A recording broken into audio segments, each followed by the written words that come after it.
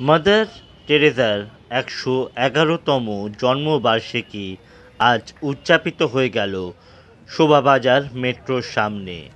Medical blood ব্যাংকের উদ্যোগে আজকের দিনটা উদযাপিত হল।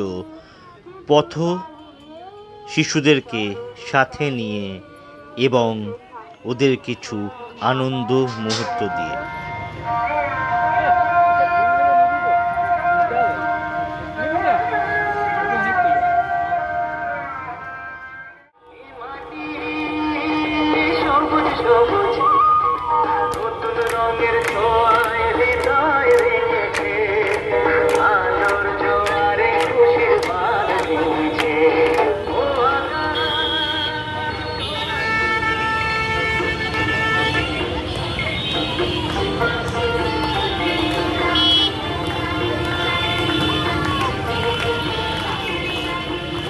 মাদার টেরিজার একশো এগারোতম আজকে জন্মদিন। সারা পৃথিবীতে বিশ্বমন্ডিত নোবেল পুরস্কার বিজয়ী মাদার টেরেজা।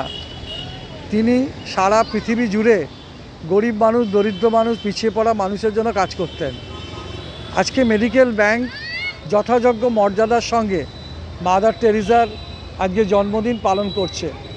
মাদার টেরেজার বেশিরভাগই পথবাসী যারা অসহায়, যাদের পৃথিবীতে কেউ নেই, তাদের প্রতি তার সহানুবর্তিতা তাদের দ্বারা তাকে চিকিৎসা করা, বিভিন্নভাবে তিনি সমাজকে বড় অংশের কাজ তিনি করেছিলেন।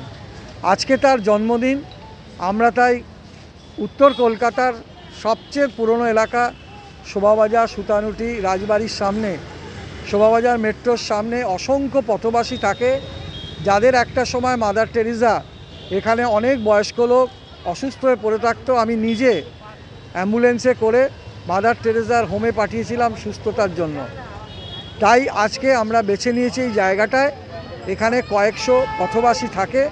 আজকে তারা মাদার টেরেজার প্রতি সম্মান জানাবেন, নাচ করবে এবং তারা আজকে মাদার টেরেসার এই জন্মদিনটাকে সর্বাগ্যে যথাযথ মর্যাদা দেবে। সমস্ত বাচ্চাদের একটু টিফিনেরও ব্যবস্থা করেছি।